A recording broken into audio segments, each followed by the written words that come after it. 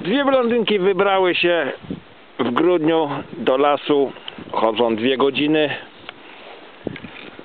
W końcu jedna stwierdza, trudno. Bierzemy tą choinkę, chociaż nie ma bombek. Blond prezydent Łodzi pierwszą Żydówkę skazana z Danoska. Gorąco redakcja pozdrawia. O którą choinkę bierzecie? Bez bombek?